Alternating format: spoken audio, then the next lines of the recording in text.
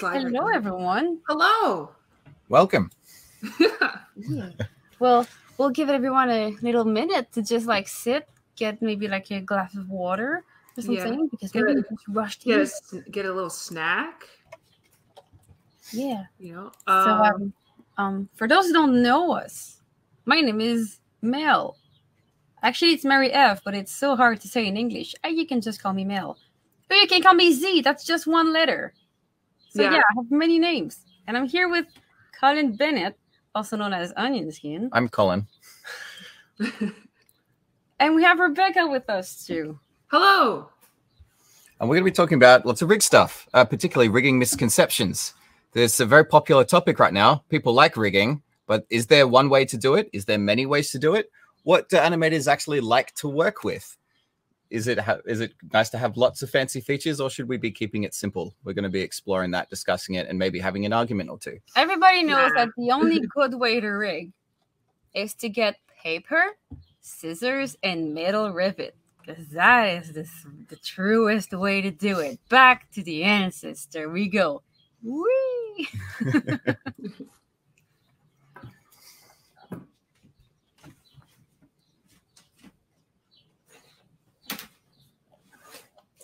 and uh, don't forget that this thing is live. We are here staring at not you, but the chat section.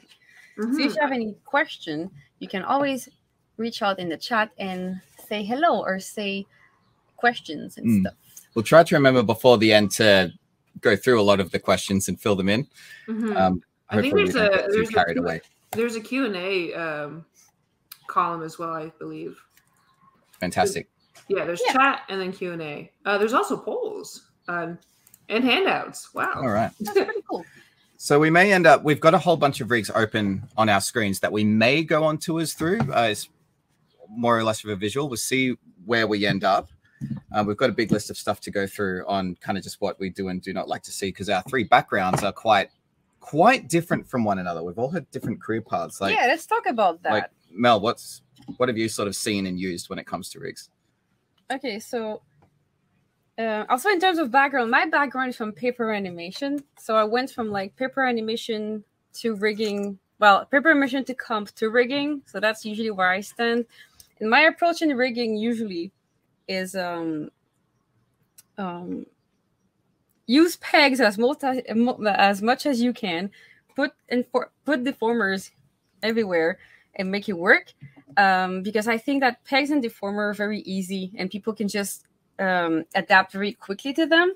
I'm less into the crazy experimental side of rig where you put constraints and stuff everywhere. It can work for some things, but not usually for what I do.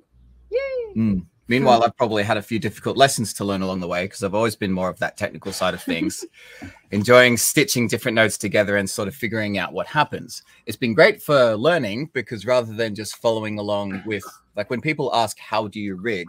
and then get like an instruction manual and put everything together in order, that can be nice for getting something working, but you're not very well equipped for being able to solve problems and engineer new things along the way experimenting is great for figuring out new solutions to different problems. However, you can run the risk of over engineering things, giving so many bells and whistles that it feels great to build, but it doesn't feel quite so great to bring to life. As soon as you start hitting anything that the rig wasn't specifically designed to do, things can get difficult, which I think, uh, Rebecca, you could probably speak to a bit as an animator. Yeah, so I'm a senior animator at Mercury Filmworks, and uh, I've just started learning to rig last year. Um, and yeah, like so, the thing with studio rigs is there d- does tend to be a lot of bells and whistles. In the technical sense, it's great.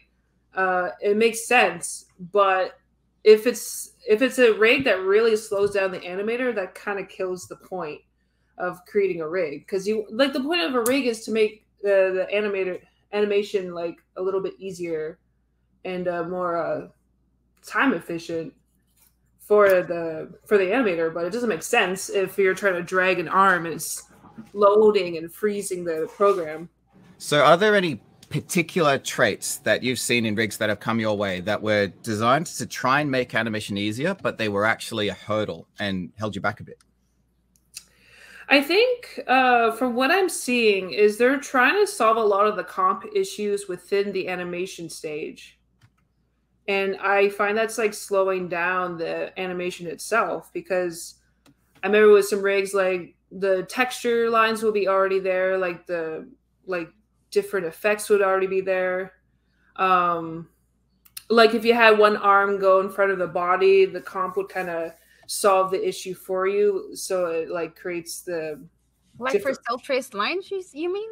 Yeah, like let's say it's a character that has like, like we'll say Mickey Mouse. Uh, he, he has a black face, black arms. So when his hand went in front of his face, there would be an, a white outline automatically. Speaking of which, that's a good example. So yeah. here's one that I made about a year ago when I was really into exactly what you're talking about. As and a wait, I remember thing. that you showed me this, and you were like, "Oh my god, look at that! It's so cool." I, I was, was like... so proud of myself. and I was, I was, I was brutally honest, being like, "You know what? Did your eyes roll?" Um, so hang on, let me go to uh, render view here and see if it's so right away, you can see how long that took to render. So the brief was the compositing was intended to have this like three tiered shading, right? So highlights on one end, shade on the other with a secondary highlight. I was like, oh, rubbing my hands with glee, right? This would be fantastic. Let's try and see if we can engineer this as something automatic in the animation stage. So it's already there um, by at the beginning. And I spent, I kid you not, like nearly a whole month mucking around with trying to get it to run. And um, frankly, it just wasn't really worth it. It was a really hard lesson in less is more, mm-hmm. uh, because uh, I had a whole phase right with. Um, let me get back to the main display. Uh, not that one. Yeah, I remember. Um, you remember working with this, Beck? I made. I remember you. you showing me this rig. I was like, "Wow, that's really cool." And then I went behind your back. I was like, "This isn't gonna work." there we go, right? Uh, it's like a phase, I think, that a lot of um, rookie riggers will go through because we fall in love with this stuff, right? It's like, hey, we, our job is to try and make animators' lives easier, and we throw in all these fancy contraptions that we think are going to be really cool, um, but it, it, it can be difficult for animators because um, you kind of get locked into this marionette thing one of the big misconceptions of rigging overall, uh, sorry, rig-based animation for a lot of um, uh, even just like the enthusiasts, just people who watch animation, is puppets are like lame or they they look puppety. It's like this you know marionette looking show. Animating with puppet is cheating. The only true animation is paper animation. You know what I mean? Like like I'm sure I'm sure everyone here has probably met someone with that opinion. It's probably a a, a rare thought amongst the audience because you've come here to learn, like you're interested in it, right? Um, but we're in this phase now as rigging has continued to evolve where it can start to it, it's become its own medium. It's more like stop motion. It's to, to, the just i guess the end user it can almost be difficult to tell apart from uh frame by frame. Like I, I guess like all the shows that you've been on back tangled uh well i know Hilda, a lot of people like I've talked to people about how Hilda's rigged, and they're like, "What?" yeah, I, I took it took me until episode three of like really closely analyzing it before I was able to figure out if it was actually rigged or not. Mm-hmm. Um, so that seems to be a lot of the brief right now uh, that we get from creators is yes, we want this to be rigged for economical reasons, but we don't want it to look it. Mm-hmm. So so much of it comes back to just being a good animator. Can you how can you figure out to get these puppets to act, to express, to perform and have life? Yeah, I think because you know our talk we could talk about rigging for five hours but the talk is called rigging misconceptions so that's why we're going to keep bringing this subject so mm-hmm. we see lots of questions in the chat that are amazing we might not have time to answer all of those but they're amazing and i i mean we're going to note them down and you know keep them in mind. But if i can add something one of the biggest misconception i think in rigging is that it's cheaper than hand drawn because it can be in some occasions but it's not a true like 100% sure fact. And maybe rebecca also like you, you probably have something to say about that too but like the the the thing that we hear a lot in the industry that is I think the thing that is the most detrimental to rigging animation is that a lot of time rigged animation or cutout animation or puppet animation is not seen as its own medium. Mm-hmm. It's seen as a cheaper way to do hand drawn. Like some people have a project They're like, we want to make it hand drawn. And then producer says, we don't have budget for hand drawn. They're like, okay, we'll just do it rigged. And this is usually the pitfall of most rigged animation show because they were not thought or engineered as cutout show. They were thought as hand drawn. Then hand drawn was too expensive because it is. It's really expensive to do hand drawn. Mm. And then it gets thrown into like, we're gonna rig those characters. It's gonna be cheaper. It doesn't work like that. And what I want to add for that is that this logic only applies to cutout and hand drawn because no one is gonna have a show hand drawn and be like, oh, it's too expensive. I'll do it in 3D, right? Like, or like, I have a show in 3D. Oh, it's too expensive. I'll do it in like hand drawn. Like, it's really just for cutout. Like, people have this misconception that it's actually super cheap, and uh, it's not true. It's true if you think of your show as being puppet based. Mhm. There's a lot of wonderful things you can do to animate fast. Mm. I think Rebecca can talk about that for her amazing like work she's been doing for the um, um, um, Royal Pain a little Oh. we make. Um, like you can you can do these amazing animation with these fantastic puppets, and doing that in hand drawn would just not hit the same. Would not be the same at all because you you knew what you're doing. Like you thought about it. I think this moves us quite swiftly into how broad uh, cutout and rig based animation can be. There's a common misconception we get from a lot of our students that there's like one way to do it, uh, but it really can be as broad as drawing itself. Uh, and uh, a lot of riggers moving into the industry can therefore like they learn a way to do it and then a try and attempt to apply that method to every production they're on, regardless of whether the style demands that that's how the characters move. Mhm. Uh, a note for producers and production would be to include a or consider including a conceptual rigging or conceptual animation phase in the same way that you would have conceptual design. Yeah, because in pre-production you have character designers, you have uh people that are gonna like make like backgrounds and stuff, but rarely you have someone who's like, hey, that thing is not riggable, or like that thing could be done that way so that puppets Mm. are easier. No, It may be- never there. It may be worth rigging the first couple of characters two or three different ways, passing them off to a lead animator and just seeing what feedback they have. Mhm. anybody can anybody with um uh like can give feedback on a design you just look at an image right but only another rigger is able to give feedback on the rig itself by really digging in there and uh, digging into the guts or other animators when they directly experience it uh, so like this rig for example uh, is one that was designed to be oh it's It's leaving going away. it's I'm going kidding. away i can come back to it later no, I was kidding you. okay so in trying to figure out uh, what is um, the right way to to do kind of lost my chain of thought there There it is. Uh, this one was built uh, to he's only an extra. He only appears in like two or three shots.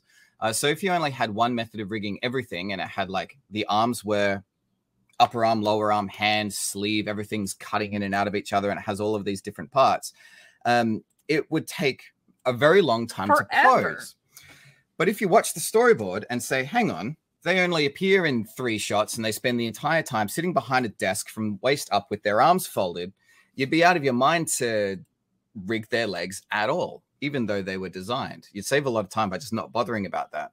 Uh, so what I ended up doing for this character is you'll notice here that the arms and legs are just a, they're just a single piece. Wait. Um, so, so it sort of embraces the fact that uh, it, it goes into a full hybrid, right? So cutout is very much a spectrum. It isn't just traditional and cutout; it's two independent things. It goes all the way from full traditional with maybe adding like a peg here and there, and then on the other end you've probably got rigs, but you still do some drawing swap outs, etc., etc. Uh, and this one em- embraces that by having uh, the arms and legs are fully traditional. There is no way to rig them aside from just pivoting at the shoulder. I am expecting the animator in this case to swap out for drawing substitutions every step of the way uh, and try and save some time with things like the the face. Uh, so like the head is probably about 80% rigged. Like the face goes inside the head there. Um, and the pupil is independent from the rest of the eye but I haven't gone so crazy in regards to like the upper and lower eyelid are separated into their own masks. The eyebrows are, you know, not like a fully independent thing. I haven't got upper teeth, lower teeth, tongue, full mouth assembly. It's just one layer with drawing substitutions. Mhm. Like honestly, the it always feels like full traditional might always take longer, but that's not necessarily true.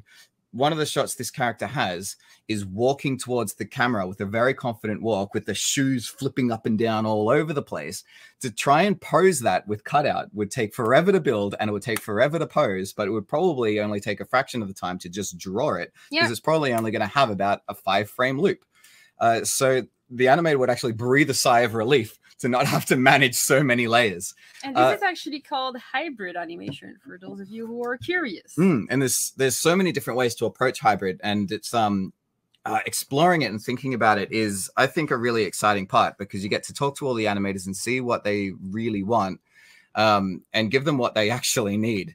But it can be difficult for some riggers to swallow because you want to, like I know I at least really want to uh, go overboard. Um, Mhm. oftentimes it's just not what they want. And uh, Rebecca, Yeah. we were talking about that before. Um, um, you made this crazy cool project called Royal Paint, Yes. and your rigs that you made yourself um, are really cool. By the way, I love Oh, them. thank you. And uh, I think that is something that unites us three. We learned rigging not because, because I hear it often. That's also another misconception. Some people want to learn rigging because it's an amazing because because like it's a job. Like oh, there's job openings in rigging. Learn to do rigging. You're gonna have a fantastic career, which Mhm. is true to some extent, but oftentimes people who do rigging they don't just do it because of the job they do it out of necessity like i learned to rig not because i, I wanted to be the best rigger in the world but i learned to rig out of necessity i wanted to make my things move and i think that kind of rings a bell for your rigs as well you wanted to tell a story you're an animator by trade and you you know you took it upon yourself to learn rigging so do you have some things to say about that about your cool project Yeah, so okay, so this is Michelangelo. Uh, my very first rig. I think yeah, you have to go in the there you go. Um so you like to share your I I hmm? Would I you like to share your screen so that you can show us Yeah, your rig? Because you'd you do a know better it better. Yeah, uh, sure, I can do that. Uh, right. uh, Oh, Janelle, help us share the screen. okay, uh just let me know if you guys can see it.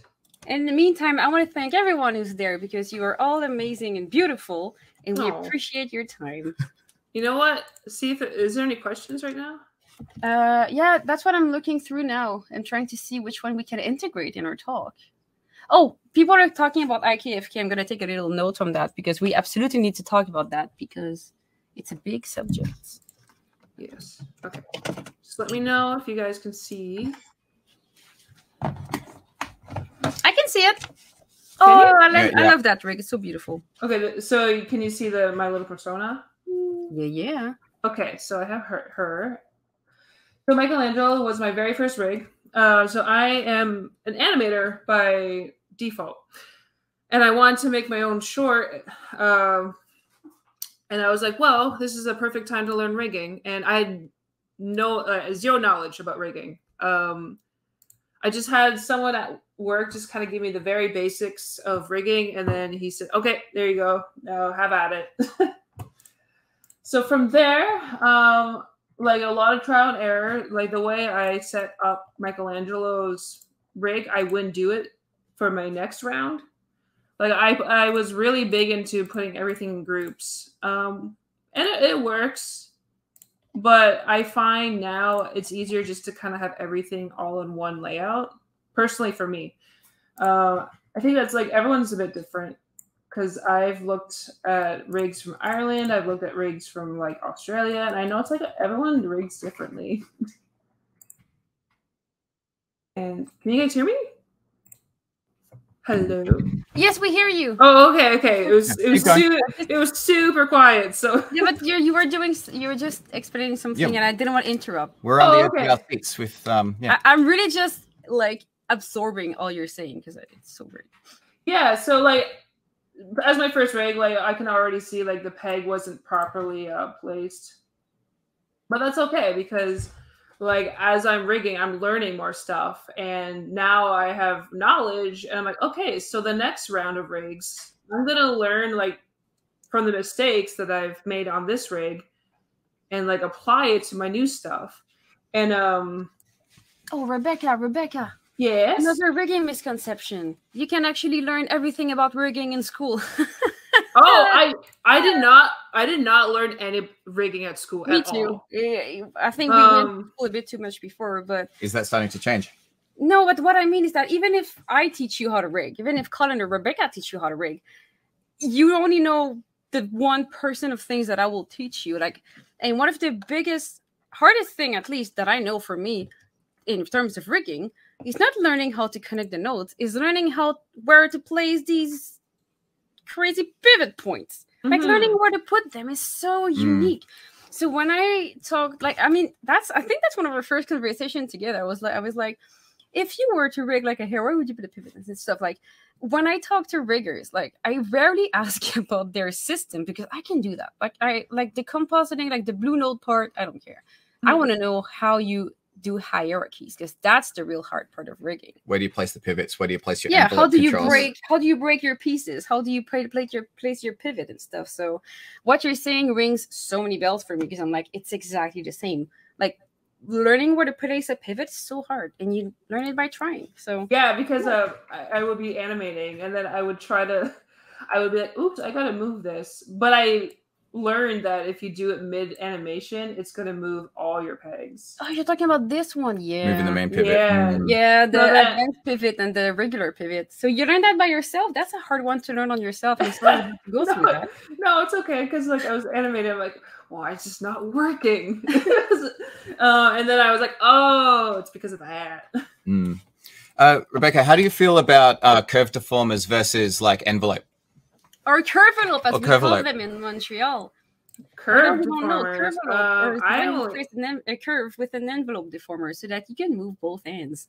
I only use um the envelope. Exactly. Do you think that's been a changing trend over the last few years that we used to see more uh, curves and curvelopes like um, I five years think ago, and now it's just more and more envelopes? I think well, Tangled was the very first show I worked on, and I remember everything was envelope. Yeah, that's what I was gonna say. You only worked. I think recently, like you did most of your work for like Mercury Filmworks, and I just know that. yeah, yeah, that's the only studio. That's Okay, the, yeah. so that's the only studio I've ever worked with. Um, Maybe that's been more in my experience then. I've noticed a trend that as the years have gone on, um, going from traditional bones to mhm. just being able to like mold things like clay is the way to go. Rigging is like fan like fancy cleanup. A lot of Mhm. people will But then again, it depends on the style. Of Does depend on the style. I see the curve a hand. lot when I teach into studios that are going to do more limited animation. And by limited, I don't mean bad. Limited animation is great. It's just animation you make faster. What kind of acting do you need to do? Actually, Yeah. that's a good point. Um, demos and clever turnarounds. Oh my god! What are your thoughts on those? Okay, so I mean, I want to hear all of you guys have to say, but when I see because I back then, you know, before working at Toon Boom, I worked in the studio, right? And I had to, you know, have like people that were applying to be into the rigging team. And um when I was looking at demo reels, like Oh, someone says I. Someone says I can't hear or see anything. Um, are you guys able no, to? see but you're screen sharing. Oh no, it was just someone else saying in the chat. Uh, it might be. Is there something wrong? Yeah, it might Oh. be. It must be on their end, or is it all of us? Uh, I everyone, see- I is see- ev- Are you guys able to see and hear us? Yeah, I see. Yeah. No, Oh, we're someone says I can see. I can hear and see. Okay. Maybe you need to refresh the page. Yeah, you might have to refresh it. But what we were saying for the, and thank you for letting us know, by the way. Yeah, yeah. I just. what we were saying uh, is maybe you guys agree, but like when I see demo reels, oftentimes what I see is people having their rig, and we all do that, but it's so cool when you see a rig turn around and it's smooth and it's beautiful, right? But as a rigging, as someone who hires other riggers, what I want to see is how your rig can move. Like I don't, I don't care Mhm. how it rotates. I want to see how someone can make animation with it. So, um, if you want to like another misconception is that if the turn is perfect, the animation will be perfect as well. It's like no, Yeah. like um, try if you want to know. Okay, yeah, Oh. if you want to know if your rig is great, make one pose with it that is like Mhm. more complex than like waving. yeah, yeah. Something that Yeah. like try try to draw the pose first and see if you can make the rig match that pose. Because like a lot of the demos we're sort of just doing on camera now is just like pivoting things on the arms, but we all know that that marionette style animation in a lot of productions isn't going to fly. I Yeah. it. How when do I showed my rig, it it had crazy poses. So how do you go about doing foreshortening? There's a lot of solutions for it, but um, yeah, uh, a smooth turn and a smooth demo uh, doesn't necessarily mean easy to animate, uh, which means, uh, which going on from that, do you guys believe that there are any misconceptions out there involving master controllers right now? Oh, oh, and that goes with one of the questions we received in the chat. Uh, Fabio Jeffrey, I hope I said it right, says, "Do you think master controllers are a necessary part of modern rigs these days, like for main cast member of a show?" So, um, yeah, like maybe you can talk about some misconceptions about master controllers in general. What are your guys' both experience with master controllers? Uh, I have a love hate relationship for them. Me too. I think that's common. Okay. Yeah. Because this involves what we were talking about with really nice turns and demos don't Mhm. mean easy to work with. Uh, because I think a lot of people will see, you know, pulling all the levers around and it looks like this fantastic action figure. Yeah. Um, but that's when you actually get in there and try and make a custom pose, like we just suggested, it's suddenly a very different story. And before we start, I just want to say something really clear for me, at, at least. I think master controllers are a posing tool more than an animation tool. There so you go. use them to pose your character somewhere in an angle and like stick it there. And then most of the work is still done by hand. Like master controllers are not gonna magically create an image for you. And uh, Mhm. what do you think, Rebecca? Yeah, no. Um I don't so one thing I that kind of irks me is when people show me their master controllers and they have all like everything planned out inside. Ugh, like master controller. thousands of little windows. Yeah. They're like, they're like, look, look, move the this one, this one has like all the little blankies, and I'm like, or I could just switch it to the drawing. Indeed. And this leads us into the uh. misconception that as rigging continues to evolve and become naturally more complicated, that we are going to start to mirror what the 3D industry is doing. But yeah, that's not necessarily true. Because as it gets more complicated, it gets to the point where, frankly, you might as well do a cell shaded 3D show. The whole benefit of this medium of 2D is that nothing will ever have more control than just drawing on a blank page. Mhm. And we have a tremendous advantage in 2D that as soon as something gets a little bit too messy, you can just lop off the whole arm and draw a fresh one. And we want to be able to keep that. If rigs get so complicated to the point where if anything that isn't represented in a lever is physically not possible, uh, you've just limited it yourselves.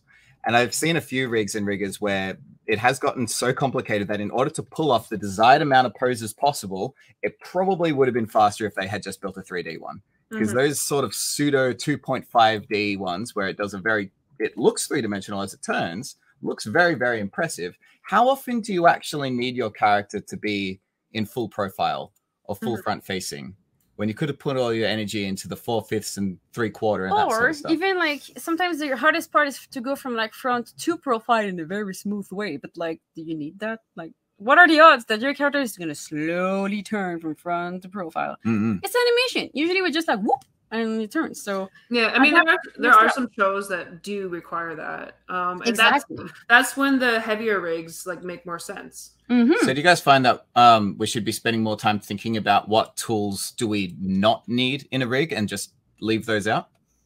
Rig for 70% of your storyboard Seventy percent of storyboard. That's a good one. Because I think a CPU load is something that is often forgotten. Uh, just how slow does the computer get once it's got all of the stuff in there? It might feel good for one rig, but if you've got a crowd shot happening, Mhm. how sad is that animator going to get? Oh, yeah, I, I've seen some pretty sad animators. there's a there's a lot of solutions now with things like you know extra displays and caching, et cetera, et cetera. Um, like we're trying to help like Toon Boom is actively trying to make the software faster and faster but people need to realize that you might not need 5000 deformers weighted Mhm. deformers in your rig for it to work I I'm think just saying I think I believe there's a beautiful push and pull between development at Toon Boom and the end user, where We're um, trying. yeah, uh, the developers create some features and then uh, the the users take it well beyond 100% that, uh, and then developers are like, oh, that's cool, and then try and keep up, and we're all kind of innovating together, which But is little fun. disclaimer: at Toon Yeah. We do love to see people pushing limits because that's how we make our software better. yeah, I know what to focus Just on like- next. Six thousand weighted deformer, like that's that's a lot. Be Mm. careful.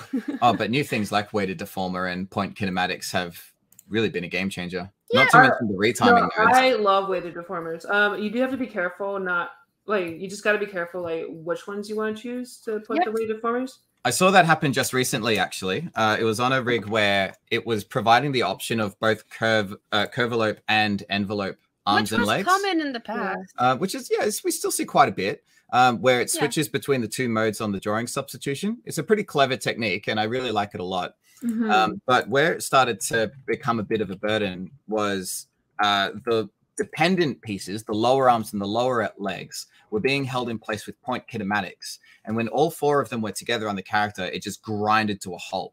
Mhm. Fortunately, we reached a point uh, where we realized that all of most of the notes that were coming back were on the curve-based shots. So it was better to just do envelope animation for basically everything. Yeah. We ripped out the curve deformers from a lot of the main characters, and everything became immediately way faster. Yeah, if I I can show you guys real quick, Oh, like I, I, love that one. So this is I did a medic uh, an animation with a character called the medic from the Team Fortress 2. And uh, the voice actor did some lines just for fun. I was like, oh, I, I kind of want to like animate that. So I made it such a simple rig. Like it's just one body part, but I used the weight deformers inside the shirt. So Mm, actually, like you can move um the collar and like the the that's a wonderful top- use of the weight. yeah, and also the hair. Like Mm. normally you would have these two lines like separate and then put them inside, but with the weight deformers, like I can move. Yeah, That's what I did for my hair? elf dude. He has like chainmail, and instead of having every like lines of chainmail on another thing, I'm like, 90% of the time, the weighted deform will be enough. And if I have a scene where, you know, it needs another angle that is more crazy, heck, for that scene, I will just re-rig that small part.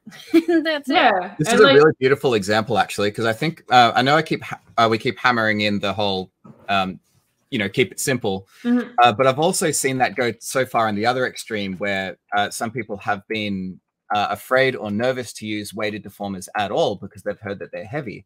Uh, but I mean, look at that. That's a really clever use of it, and it Yeah, doesn't look, over the like, top at all. woo, it's so that's light. performing like butter. Yeah. Oh, it's also just a torso.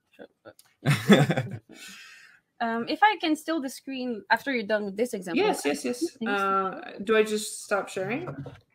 Um, Someone says, "Is weighted deformer the same as free form deformer?" No, freeform deformer is um it's a bit different. I can show it later, but like the freeform deformer is kind of usually made to move textures along a hand-drawn animation. That's usually how it's used to. And it's basically like it's not the same. The weighted deformer is um like the weighted deformer is uh I'm gonna show you because I, I have one in his hair. Um give me one second. My keyboard was all over the place. Um yeah, so uh, this piece of hair has an envelope in it, and it moves. Well, by the way, my computer is having a bit of issues as we are streaming and have seven scenes open, and they have both. They all have pretty high quality rigs in there, but hey, you know it's managing. Uh, so you see, this moves well, but everybody knows that the envelopes is legendary for being really bad at handling textures. That's just a limitation we've been facing for years. So if there was a rig that I made in Harmony 19 and before, no, 17, because there's no 19. What am I saying? 17 and before, Mhm. that little swoop of like curvy texture should have been its own layer, and you just cut it on top. Um, uh, and it would because otherwise the curve deformer would have like ruined it. Mm. Uh, the envelope. Are- yeah, are you able to show them like if you could turn off the weighted deformer? Maybe. Show Yeah, that's them. what I did. Look, it Oh, did you? ugly. Yeah, that texture breaks real good. It breaks. Oh, there it is. But the weighted Ah. deformer, deformer makes it better. But then, because you know, I teach Harmony all the time, people are like, "Yeah, but why doesn't all the envelopes always do that?" And the answer is because it's really heavy. Yeah, ninety percent of the time you don't need it if there's nothing in the middle. Yeah. This one I put it there because otherwise, like, other than that, the rig is pretty simple in terms of like things. Mm. But like for the number of time that I need, uh, is otherwise each time I move this, like it's like exactly for your guy with his hair. Each time I would have needed to move this, where like now I can just do like woo, and it's just faster. and I did the same, I think, for these chainmails. Yeah, these chain chainmail, they're just like one piece, and it's like whoop. Mm, less pieces. Exactly. when- so when- I win time there. So when creating things like hair and stuff like that, because this character has lots and lots of uh, I need points, to redo them. does it take a long time to pose? Where do you feel the limit is on uh, the amount of points? Don't talk about the hair. I need to re-rig them. Well, is it a um, uh, is it something that you need to stop and think about? Because the reflex, I think, would be to add a point onto every strand.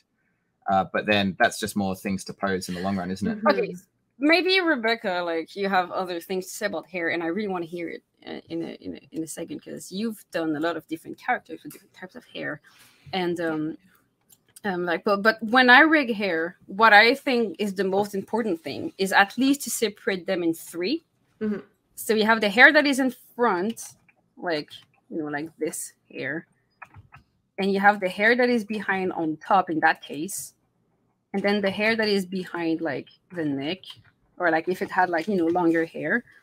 And that's because if i want to get a angle over my head it's just quicker to just take like that thing and like you know push it up to have a like a tilt. And like you can get a easier tilt by moving like these three layers. Mm. um and that comes because my my one of my biggest cutout experience was working on wakfu which was a show that was like anime but cut out. And these characters had lots of hair trend and this is how we would do it uh, to get our easy tilts So that was a way that you could, with one control, move a lot of pieces rather than having Yeah. to, you know, Set eight points around each lump, move them all up Yeah. one at a time. so we would do like front behind and back that's what we would do Mm-mm. and they're very easy to just um, So- move and stuff So something that does send, tend to set a lot of rookie riggers apart from the professionals is, and it really only comes with practice, is where is the balance on how many points you add? Mhm. Because it feels like, you know, the more points, the more control. the least But- possible The yeah, the more points you add, the longer it's going to take to pose. But if there's too few, then you're not going to be able to get the pose you want. Uh, and trying to it's it's like puzzle solving, trying to figure out that balance, uh, not just for the amount of points, but also how your cutting and masking and auto patching theory works. and and sometimes uh that's what i want that's what i want to get next uh, sometimes do you really need an envelope or do you just need like a curve That's what I really love about this character in particular is that it's very clearly designed for rigged. Well, First things yeah. first, no outlines. well mm, yeah but no outlines doesn't always mean easier it There's- depends on your style There would be less auto patching, no? There's no auto patching There we are. well i mean there is just because for the sake of my tutorials i did auto patch the arms but like no there is auto patch i don't remember Oh. but no outline there, i yeah. think there is auto patches So I think this might. uh, There is. I There did is. patch them in the end because I added a line to them. Because if I took if I took the arm and I put it in front of his torso, we didn't see it, so I just put an arm. so can we talk a bit They're about aligned. designing for for rigs? No, but I- before that, I want to Oh, hear yeah, no. Rebecca's thought on hair because we didn't hear it. oh, sorry. Yeah. Oh, no, okay. Turn. Um, so what you said, I mostly agree with. I find like the the only times I like to put more detail and more rigs or, or more deformers is if it's a more of an up close shot. Exactly, like a very good close up with wind. yeah, then then yeah, then it makes more sense to put envelopes and curves because then you have more to work with. like if this was a Um, close up, I think like because here I had only curves because usually like you know most of your shot are like that far, so you know you can just like. Mhm. Whoop, whoop. But if it was a close up, I would just re-rig it. I would remove the curve and just put an envelope, right? Yeah, that's what I would do too. Like just add, sometimes I'll just like I'll duplicate a drawing and then just add a new um envelope just so I have like the old drawing with the old envelopes just in case. Okay, so Um, it's quite normal for you to add new envelopes and things on the fly mid movement. Yeah. Yeah. Cool. Uh, so, how often do you find yourself adding new substitutions on the fly? all the time. Um, for my personal stuff, like yeah, all the time. I've, heard, I've Um, heard a lot of mixed opinions on that. Like, like working with the same rigs, different animators will say, "Oh yeah, I create new uh, substitutions all the time," and then there's others who are like, they're like, "No, no, no, no, no. You, you like, you must work with the pieces that are available to you because then it's easier to fix notes later." Oh no, I'll, depends on the I'll draw my own parts. Yeah. What was that? um, I'll draw my own parts. you Like draw your own um, parts all the time. yeah, uh, sometimes like I will try to work with what I have, just depending if I have enough time. So, do you find therefore that there's some rigs that are easier to modulate than others? Like, do you think riggers need to be keeping in mind more often? Hey, how can I make this easier for an animator to create Oh. a new a new piece Yes. uh, whenever they need to and not break things? Oh yeah, like I think communication between riggers and animators, Mm. I I think do need to be a, a bit stronger Does because that like come into play with things like um like excessive auto patching? Like if if there's too much uh, If layer interactivity, that will make it hard to yeah, because layers that um to play well. Yeah, because I know I was working with one rig, not at the studio, but it was um outside the studio, and um I wanted to draw a new hand, but the way they rigged the the character, it was like I couldn't just say create new hand. For some somehow like it Oh, was I know what you broken it it was like in a different group so i had to go inside that group to get to the drawing and then i had to draw the new part there but then i had to go to another part of the place just to use the paint bucket and i was like well, that makes no sense Mm. um, but maybe i think by technical stance maybe it made sense the way they laid it out Do you feel like a lot of Um, this can be solved with just solid documentation for the team? Yeah, and like um just be open. Like so if if you have a problem with the rig, like the first thing is like don't be rude to the to the rig artist. Oh, 'Cause yeah, may- they're trying. Cuz cuz maybe to them they're like this is perfect. Like this makes sense. And then to an animator they're like, "Well, I don't know what they were thinking." Um but then yeah, just like, "Hey, like I noticed when I try to make a new bo- uh, new drawing, it doesn't work." Like let's maybe we can figure out like what's going on and if there's like just an easy quick fix Mm. Is it very common in your guys' opinion, uh, in experience, uh, that rigs will be getting updated uh, mid production? um i th- Like, How I high think- do their version numbers get? like i know like we'll we'll keep notes for um the rigs and like what works what doesn't work. I'm not entirely sure like how much they get updated. I can't say i I can't say like for sure. It changes every studio, so. Hmm Um, I think what I wanted to say about that is it can be pretty normal because Mm. animators will have feedback and you want to update them as you go. Um, and that's why sort of having more time in pre-production to, I guess, practice and do conceptual passes first.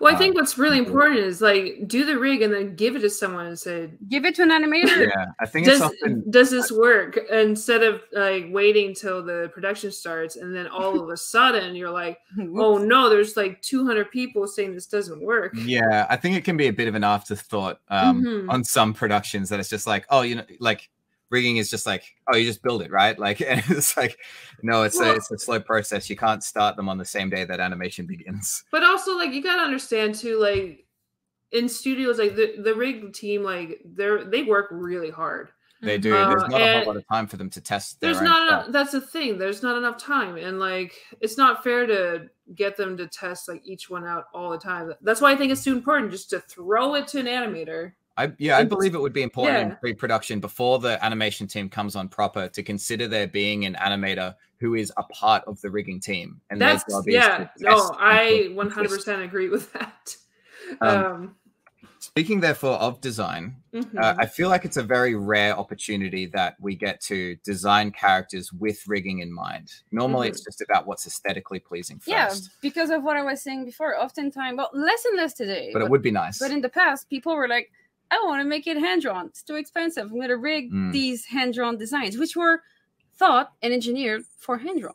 Yeah. And I think that this comes from like when you go to animation school, and I'm not blaming anyone, I'm just like stating facts. When you go to animation school, usually you learn to design for hand drawn. And so character designers, they will never rig in their life. They will never animate anything, probably. and the rules of what makes for a good traditional character design are changes. not the isn't same it? for Like, a for we all learn cutout. in traditional, like, hey, maybe you shouldn't give your character seven buckles Like- and belts everywhere because you got to draw it over and over again. like this chainmail Yep. for hand-drawn animation is the big no-no because oh my god keeping track of this keeping track of, this in cutout is so easy it's Mhm. it's there right so sometimes I, and i think this is, this is going to change but a lot of the like um discussion i have with like character designers is that character designers design like what what we learn in in school and stuff and and during the job is we learn to design pretty things and things that works for hand drawn but not not so much thought is made for like is it riggable?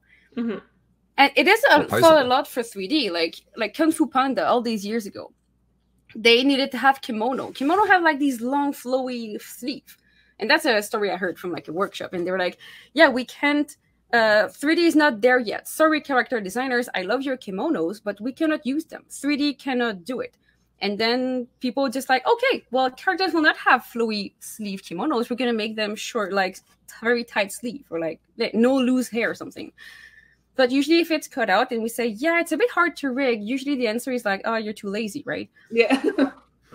It is. It is something we have to Gotta deal push with. through that so, stigma. Yeah, so, what I are just some? hope that going to change in the following. So, what are some common character design traits you've both encountered that make rigged animation more difficult that designers may want to reconsider? I want to hear your answer, Rebecca, because you animate more than we do. um, like I said before, they put a lot of the comp uh, solutions within the animation stage. So things like So- pre-lighting and textures and things. Textures, blush, uh, a lot of auto patching. Um, like when an arm goes in front of something, like the line automatically readjusts it, which like cool. It's that that's cool, but um, it just sucks because it feels like more and more comp issues are now being pushed to animators, and but we're still given the same amount of time. Yep. Um, Right. so it's just kind of like one of those things where we got to figure out, like, okay, like, is there a way we can make the rigs lighter and um, kind of push the comp issues, you know, to the, the to the comp team? I found it's been Um, very effective to have the lead rigger have a certain level of authority in design, like they actually have Mhm. an approval pass and can go back and say, actually, can we can we remove the band-aid from this character's knee? That would make Oh, the rotation points. Don't put details on rotation points, Yeah. please. Elbows and knees. Oh my god. Or if you do, please have like a thought for us when we're gonna animate it. Okay, like do it if it. it okay. Cha- character designs. Little tip that I been heard in school. It's amazing. If a detail doesn't bring anything to your story, reconsider it. if it just Yeah. cool, but it costs like three thousand dollars more to animate it, like may like is it really necessary? Like if the band-aid is a key point to your story, like add it. It's it's fine. But like Mhm. choose your battle, folks. yeah. Joint, joints seem to be like the equivalent of over detailed characters now. They're the hardest thing to manage. And Um, uh, Oh, oh we yes. have someone in the chat like Elodie Rabiar, who is an amazing rigger.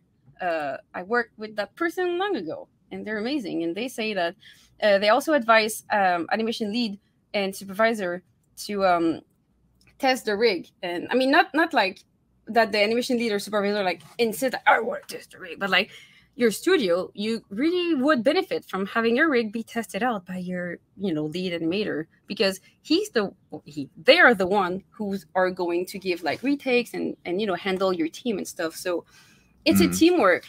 Like and like Rebecca, you said like animators should be kinder to riggers and riggers should be kinder to animators in general. Mhm. Um, it's a teamwork. So if that lead animator is able to speak the language of both the rigging team and the animation team, like like in their notes, they can say, "Oh yeah, I know that's built like this." Yeah, that Um, too. they've experienced it firsthand. Yeah, because I do find like the rig team and the animation team is like day and night. Like they almost don't talk to each other at times. And there needs to be a lot more synergy. Yeah. Yeah, and then there's like more like hostility towards one another. Like not Oh no. okay, well maybe that's not the What? word. Like um There's a there's a gap. there's a gap. There you go. Thank you.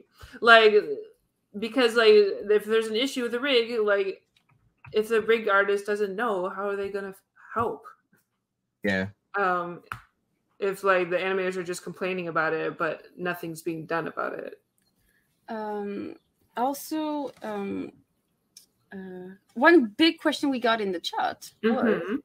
um, I can't find it again, but somebody asked uh, if they want to learn because I answered it in chat. Anyway, they were saying like, "Oh, what's the best way to learn rigging?" Like, okay, yeah, the, the question was what what type of rig is the best one to start with? Like, be- because I've heard that humans were hard, and I really want us to answer that question because I I well we get it all the time, and for me, from my point of view, um, if you're going to rig, don't necessarily go for like um someone who teaches you how to rig a character from A to Z Mhm. because there's so many ways to rig and maybe the way that they rig is their way but This might be over the top for your first attempt. yeah don't do that like first attempt okay everybody's like i have this amazing anime story in my head i want to make a pilot that is 35 minutes and i will rig everything and i've never rigged in my life Do you have my Let them rig? grow.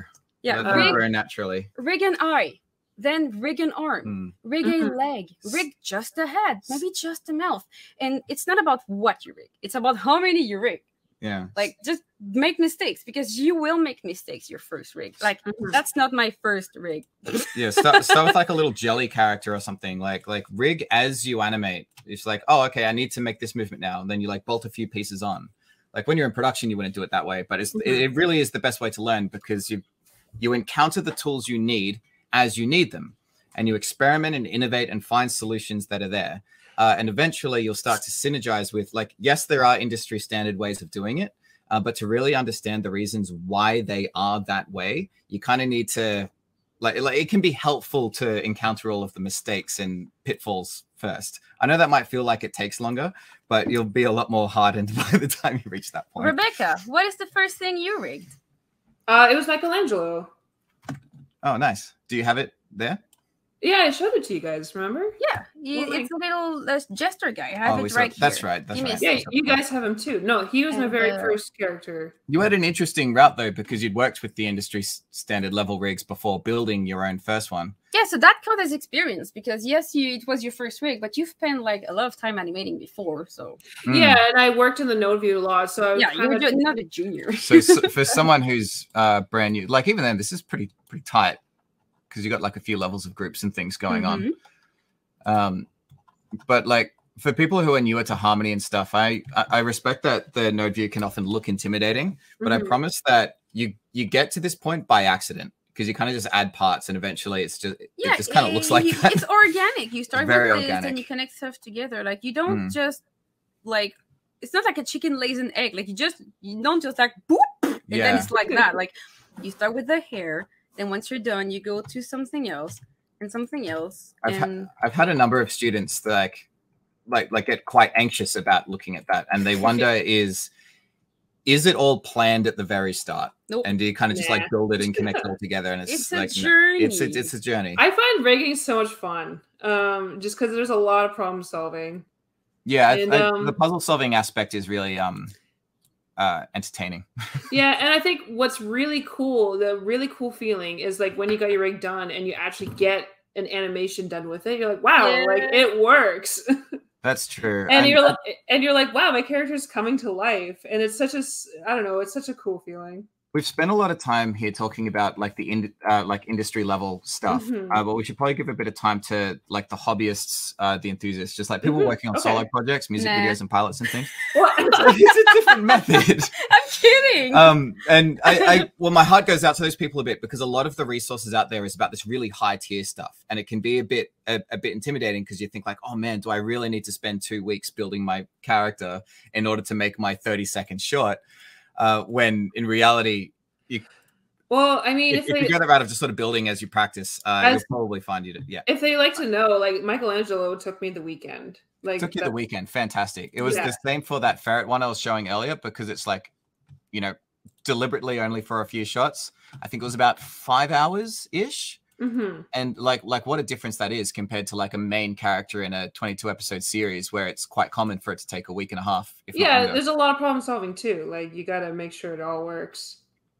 Mm. i mean Oh, and yeah cool. there, like there's issues with this rig right now but um like i said like the next time i i'm gonna rebuild these characters I would and- rebuild mine as well. yeah, a lot Yeah. that and a lot of those little things it's like it's so subtle that there's no way to know until you hit that when animating hey like finding s- finding seams like the anti-aliasing and learning how to avoid that in your build rather than trying to brute force them out with patches Yeah, I said okay. I said I said woo because that's my character. Was not my first rig, but it, it is my first character rig. It's the first time I rigged a character.